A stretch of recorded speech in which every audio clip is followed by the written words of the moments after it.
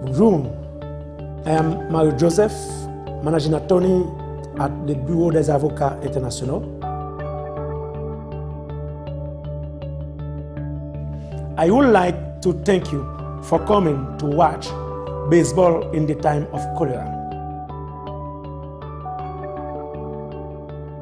Cholera keeps killing. A Expert said it will be between 2 and 4,000 Haitians this year. It will kill children like Joseph and his friend.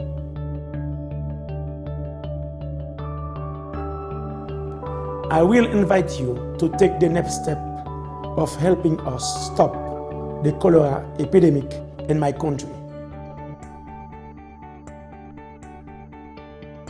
We are a team of public interest lawyers in Haiti and in the United States.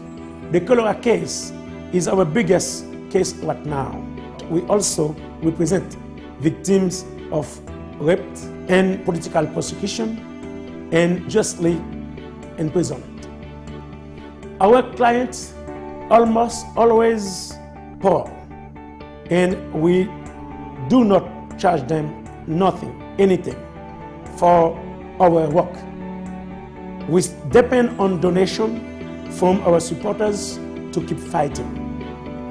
We keep our costs very low by working hard for modest salaries and getting lots of volunteer help. But we do need money to keep our office open. To travel to the remote area where our cholera clients live and to document the cases. The cholera case is particularly expensive because we represent 5,000 uh, clients so far. Even modest fees for notarizing documents and add up quickly when multiplied by 5,000.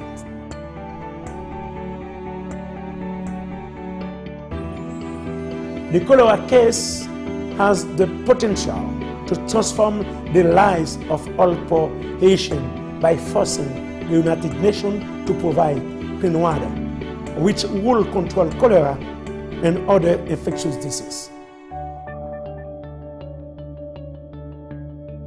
We can stop cholera's killing, but we need your help, and we need, we need it now. Please consider a generous donation to IJDH. Thank you for caring about Haiti.